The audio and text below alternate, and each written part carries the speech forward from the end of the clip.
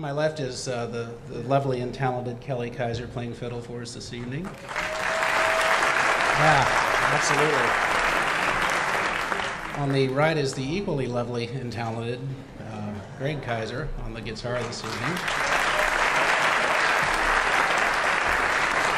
And uh, later on, we'll have a couple of uh, special guests come up, a little treat for you here later on. So, uh, this next tune is called Wake the Leprechauns, and it's got a bit of an Irish lilt to it. I uh, have a, a, wee bit of Irish in me, so um, every now and again, um, uh, my temper will get the better part of me, and um, I end up writing songs like this. So, um, uh, this is a tune called Wake the Leprechauns. It's got, got some some uh, some pretty cool movements in it. So take a listen, and I hope you like it.